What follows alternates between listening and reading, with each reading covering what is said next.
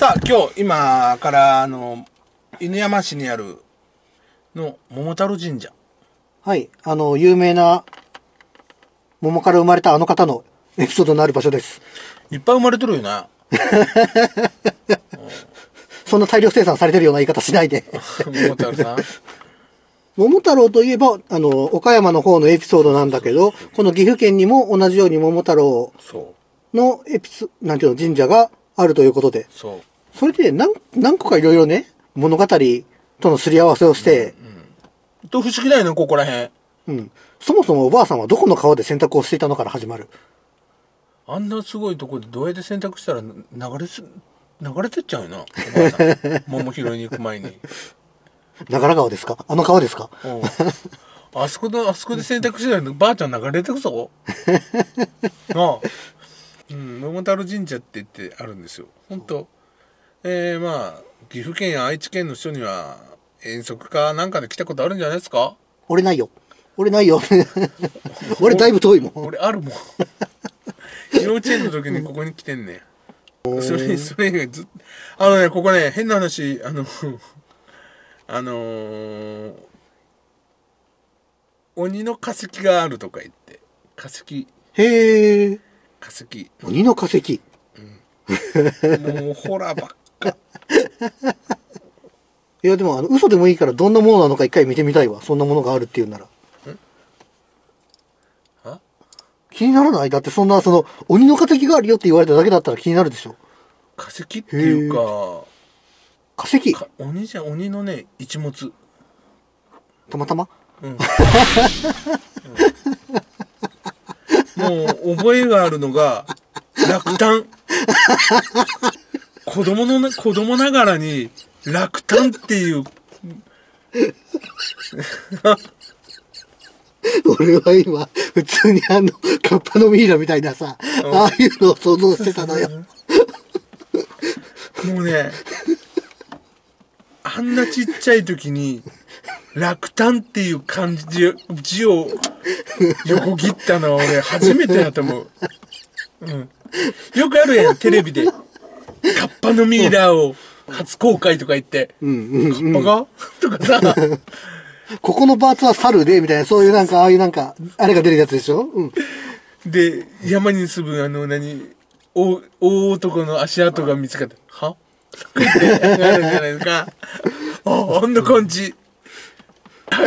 そそうそのぐらい落胆っていう漢字を覚えた俺。え、そんな、なんていうの、1パーツだけ置いてある状態で、そのなんていうの、化石があると言い張るの？石？紙に書いてあらへんか？なんかそういう歌い文句。おー、それはちょっと真面目に気になるな。探してみよ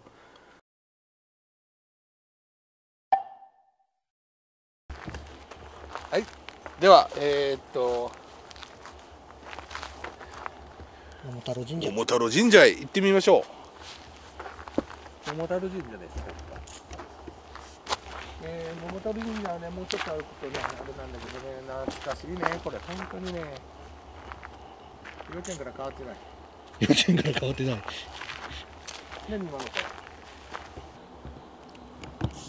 お犬さんも取ってこう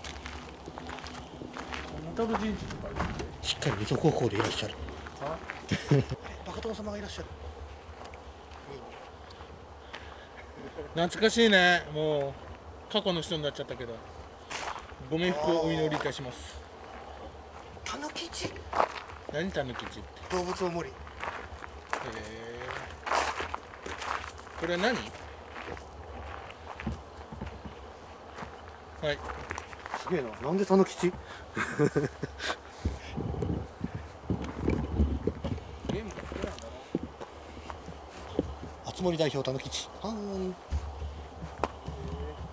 桃太郎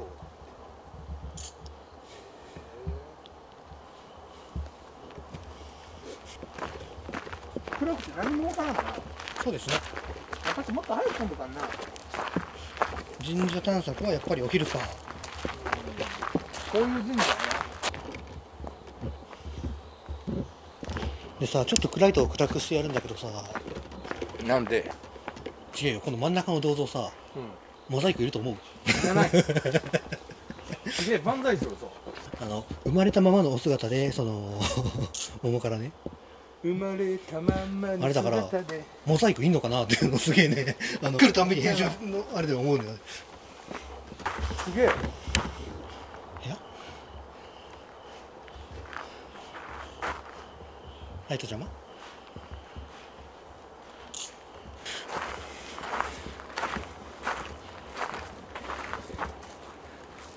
きびだんごくださいのポーズよ金くださいじゃないよ。いしょ。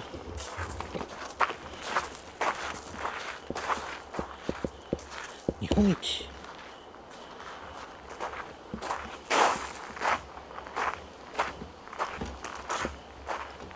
抱きそば。桃太郎誕生地鬼ヶ島が瀬戸内海なのにここから行くのですか？こっから瀬戸内海行ったんだ。え？ここからだってそこまで行って仲間3匹だけ？うん。それ以上はいらないよ。隣の奥。見学料宝物が九段さっき言ってたあれ九段のあれですか？九段の剣のあれですか？桃太郎がなんていうかちゃんとでもこういうの飾られてるのはなんていうの？桃太郎ちゃんと祀ってるなってわかるからいいっすよね。なんか名前だけなどう祀ってねえやろ。ちゃちゃちゃちゃちゃあの名前だけで一切何もないとこあるじゃないですか。ここ何やろ何を祀っとるんだろうね。桃太郎誕生地。さあ最初の神社目作りはえー、っとこの桃太郎神社。もう降ります？っもうあります？ていうかあのあなたがちびっこの頃に見たっていうそれはこっち側なの？こここれこれこんな感じあー。これね。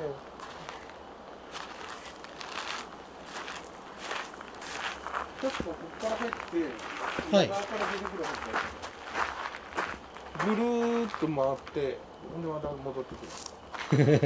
確 かへえ落胆という文字を覚えまあ実際に鬼のそれを取ってきたんであればなんていうの宝物なことに香りはないじゃないけどあれに。たこれ見てみあら鬼の写真。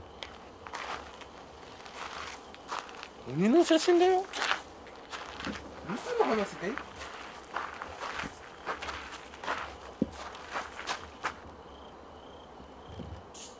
鬼って言われて何の作品出てきます？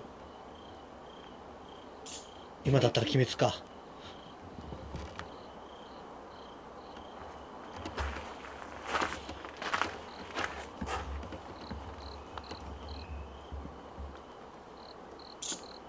話の種に珍しい宝物をご覧ください。ついでに滝でも歩きながら見てみます？滝？滝。ああなんかあるって言ってましたね。桃太郎だ